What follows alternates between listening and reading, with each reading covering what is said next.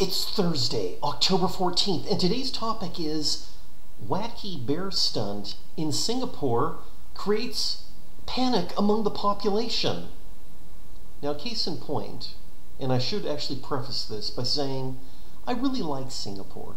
It's safe, it's clean, infrastructure fantastic, very attractive people, but that's a different subject for a different minute.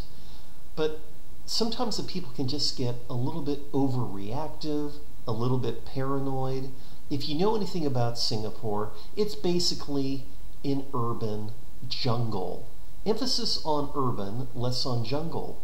So, whenever there was a report of a wild bear rummaging on one of the side streets, there was panic almost in the streets.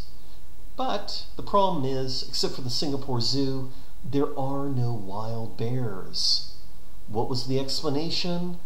An electronic company decided to do a marketing stunt by having someone dress up in a bear costume rummaging around trash cans on this specific street.